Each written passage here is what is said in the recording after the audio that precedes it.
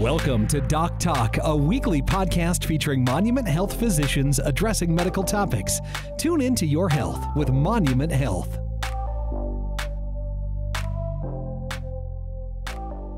Hello again, everybody, and welcome to another edition of Doc Talk with Monument Health. My name is Mark Houston, and joining me is Dr. Felicia Beltman, uh, an audiologist, doctor of audiology at Monument Health at the Spearfish Clinic. Thanks for coming back, doctor, and talking with Thank us you. again. I don't know why this has become so fascinating for me uh, over the past uh, few days I've been looking into this stuff. I think I know why, because my entire life has been since I was 16 years old, I've been on the radio. And so I've always worn headphones and I've always listened to crappy 80s hair metal and 90s country too loud. And I realize we got to tell kids not to do that at some point, right? Um, we want to talk about um, pediatric hearing loss for this podcast. And, uh, you know, I think a, a good place to start is now with these kids and the the AirPods that they have and the headphones that they use so much, does that does that kind of get under your skin a little bit about how much that's used for kids and their hearing? Um, not necessarily. It's more about how loud it is. Right. I, right. I take more issue, I guess, with um, kids that are at hockey games, that are at you know motor trucks, Yes. whatever those are. the monster Uh, trucks. The monster yeah. trucks, Yeah. yeah. with no hearing protection. Okay. Um, kids that go out shooting with their parents, no hearing protection.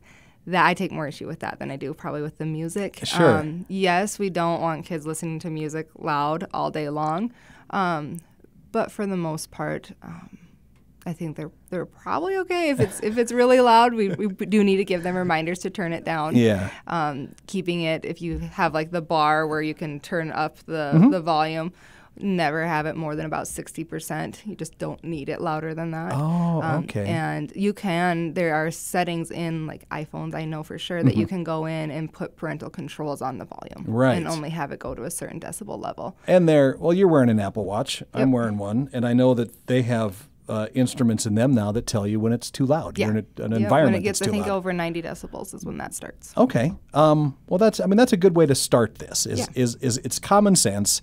Anywhere there's loud noises with your kids, you should have ear protection for them. Correct. Correct.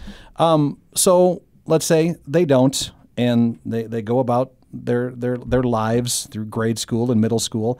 What are the primary causes for hearing loss in kids like that? Then is it kind of what you just described? So, as far as hearing loss goes, the number one, there's kind of differences. So, the a congenital hearing loss is a hearing loss someone is born with, um, and there's different reasons for that. And then you'll have acquired hearing losses. Um, he, noise-induced hearing loss is just one of those acquired hearing losses that you can have in childhood. Um, other things would be from uh, like ototoxic medication if a for instance like if a baby has to go to the NICU or they're on some kind of medicine um, that can can damage the hair cells in the ear um, that would you would know about that The- your provider would have told you like you need your hearing checked Okay. um, there's other acquired hearing losses like meningitis meningitis is oh, I suppose right there away. are illnesses Yep, that do that too. Then. illnesses. Um, if you have meningitis, we like to test right away and monitor you very closely for hearing loss. Okay. Um, Once so those are acquired. More congenital type hearing losses are going to be genetic hearing losses, um, differences in an- anatomy. Really, genetics can play a part in it. It Oh, can yeah. be Genetics, genetics is the number one cause of um, a congenital congenital hearing loss. So, I that's fascinating. I, I guess that's again something you wouldn't normally think about because it seems like that's so, you know, your hearing and your vision. I mean, your five senses really. You, it, it, you don't you don't think that congenitally those could be damaged because of because of your genetics Yep. and not not congenital but your genetics. Um, huh. Well, here we go. I'm learning so much now. I have so many more questions throughout this whole thing. Uh, but when hearing loss happens, it's it, it can't really be i mean it, it doesn't repair itself correct is that is that Yes and no. Okay. So there's different types of hearing loss. So the first type that most people think about is what we call sensorineural hearing loss. That would be a hearing loss that's into the cochlea and then into the nerve. Um, that is a permanent hearing loss. Um, whereas a conductive hearing loss is sound has trouble conducting through the ear, and that's where you'll see, um, like when kids get tubes. You'll hear ki- all Oh, kinds of yep, kids get tubes. right. There's fluid sitting behind that eardrum, typically, and if we can get the fluid out, we can correct that conductive hearing loss. So, conductive hearing losses do have the potential to be corrected. Not everyone can, but they have the potential to be corrected where sensorineural hearing losses are permanent. Okay. It- Then what is uh, how is it generally diagnosed with you then? If somebody comes in and is worried about it. So if they, um, depending on the age, Mm-hmm. so if they're old enough, and I would say usually by four or five, They can if they you. can raise their hand when I play the beeps, and we do word testing, and we do lots of other testing. There's different, there's lots of different devices and things we can use to cross check and um, make sh- you know double check things. Um, that would be the the kind of the golden golden standard of testing hearing loss, um, or testing for hearing a hearing Mm-hmm. loss. When they're younger than that, sometimes we will do what's called conditioned play audiometry. And so I'll sit in the sound booth with them and we'll play games. And I'll, we'll be testing them as we're playing. So if you have like babies, A baby, then, that's how- the next one we'll do. And that's called an auditory brainstem response. And so what we do is we connect electrodes to their skin and then we play sound into the ear while they're sleeping. And we can test what the brainstem's response to sound is, and that gives us an estimation of what we call their threshold or where their hearing is at. Um, and so we can do that while the baby sleeps. If they're older and they can't sleep, and we still need to do that test, um, then we can do that under sedation. And in spearfish, we are the only one at West River that does sedated ABRs, is what they're called. oh, excellent. And so we just started doing that within the last year. And there are other entities that can do auditory brainstem response testing while like a baby is sleeping in western South Dakota, but we're the like I said, we're the only ones that do sedated Okay. testing. And so that's a service that we were just started being able to provide so that um, families don't have to travel Oh, for something excellent. They were going to Sioux Falls, they were going to Denver. Um, and so yeah, now we can do that right here at home. So- That's yeah, that's I mean that's that's what's so important anymore is to be able to, that monument. You know, I've talked to uh, a lot of different doctors on this podcast that have said similar things to be like, well, we we have this here and we're the only one here and we're the and that's got to give people so much comfort, you know, to know that this isn't going to cost me thousands of dollars to drive, to spend hotel, to stay, and you get to be at home and your kids don't get disrupted and things like that. Um, well, a big part of I'm assuming with hearing loss, especially with kids, is that hearing is so important when it comes to them developing speech and language. And so, um, you know, how does how does uh, the hearing? Well, again, don't want to say hearing loss, but how does a deafness in a child? Um, how does that affect their language and, and their ability just to learn? I mean, it's it's got to be much harder, right? Yeah, so we, um, I always kind of take what the family wants. So we, we discuss that when we talk about, okay, this is a diagnosis, this is the, the degree of hearing loss. Um, and then we talk about kind of what that family's hopes and wishes are for their child. Sometimes that looks like uh, American Sign Language and just signing. Around here, that's probably the least um, option for that to be in isolation. Um, more so, we see a lot of total communication where we sign and we're, we're working on speech as well, um, along with device use, so hearing aids or cochlear implants. And then um, once we, we start to get them fit with those devices and they can start working on the input of language, then we also work with speech language pathologists to help a child develop that language skill further.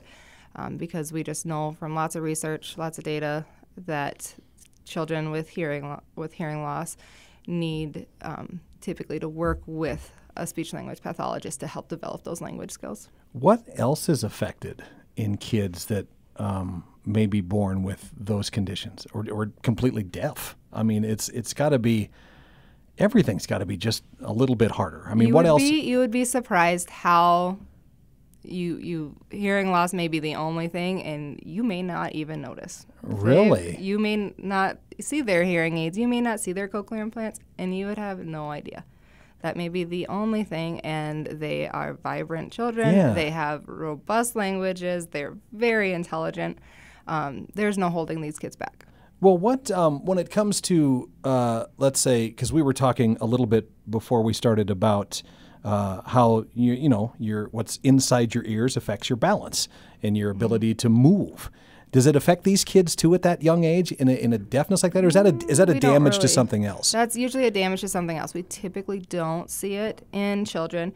Now, there may be other things. There may be global delays Mm-hmm. where that is affecting other body systems, and that may be why they're having difficulty with, with other things.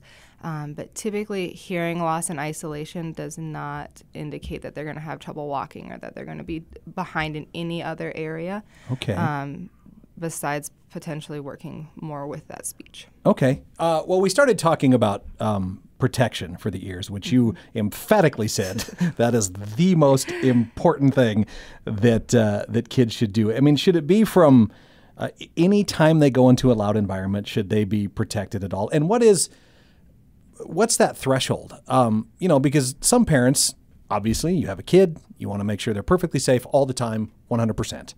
Um, but you don't need to put ear protection on when you're going to the grocery store or to places like that, right? Right, so- so what would be the my husband would told me I'm a total nerd, but I carry on my cell phone and I have a noise meter on it, and Yes. I will go into restaurants. I'll go into places and be like, "This place is so noisy. Look how loud it is," and he just rolls his eyes. Um, but how's that- his hearing? Is? Exactly. Yeah. he tells me he has above average hearing, which well, remains to be seen. Um, but that's one way you can check. And 80 decibels is what you're looking for 80 to 85 decibels. Anything above that, we should be protecting the hearing.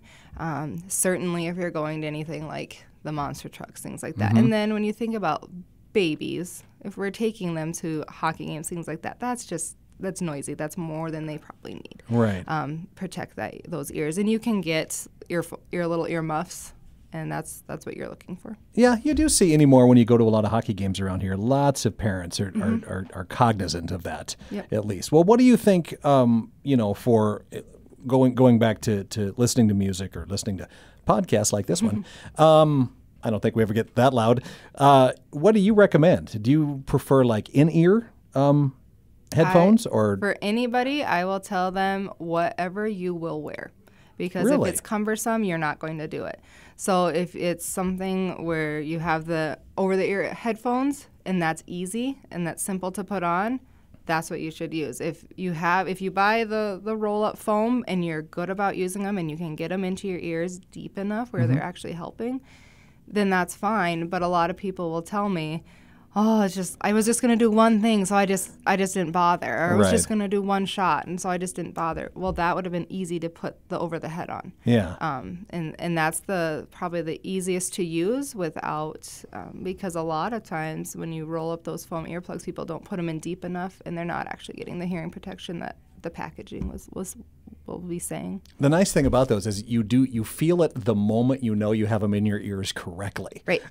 yep. you know You can tell. i used to i used to sleep with them quite a bit just because I, I until i found white noise machines which are great um, yeah there's you have to get them in and then it it's, it's it feels euphoric once they're in there And some people don't like the feeling of their ear being full. They don't like that fullness, and so over it. the ear would be better. Yeah. Um, we do make custom earplugs, and so we make custom earplugs for noise, for hunting, for shooting, for um, swimming.